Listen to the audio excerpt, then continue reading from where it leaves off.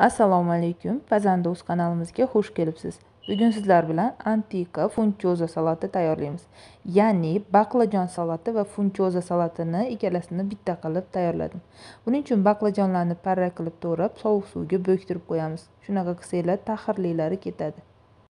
Funchozani esa tog'oraga solib ustidan qaynoq suv quyamiz va qopqog'ini yopib buni ham besh o'n daqiqaga dimlab qo'yamiz. Yana pishish instruksiyasiga qaraysizlar hammada har xil pishishi mumkin.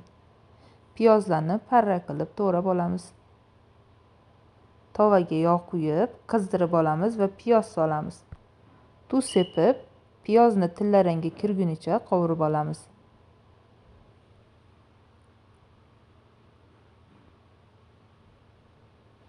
Yana qizil bolgarskiy to'radim har xil rangligidan solishinglar mumkin bolgarskiyni.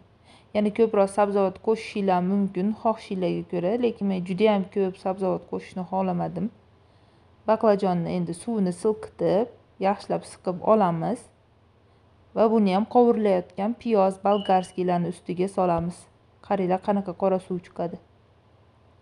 Mana baqlajonni ham sabzavotlarga qo'shib tuz sepib yaxshilab qovuramiz. Agar yog'i ozroq bo'lsa ozgina yog' qo'shib yuborsanglar bo'ladi. Sababi baqlajon judayam ko'p yog' shemadi maydalangan chesnok solib gazni o'chiramiz. Yaxshilab aralashtirgach dimlanib pishgan funchozani ham solamiz. Ko'katlar va bir osh qoshiq soya sous quyib yaxshilab aralashtiramiz. Tuzini ko'rasizlar tuzi kamroq bo'lsa yana qo'shishinglar mumkin. Va shu bilan antiqa funchoza salatimiz tayyor. Ko'rinishi ham juda chiroyli. Ha aytgandek ozgina paprika qo'shgandim esimdan chiqibdi uzr.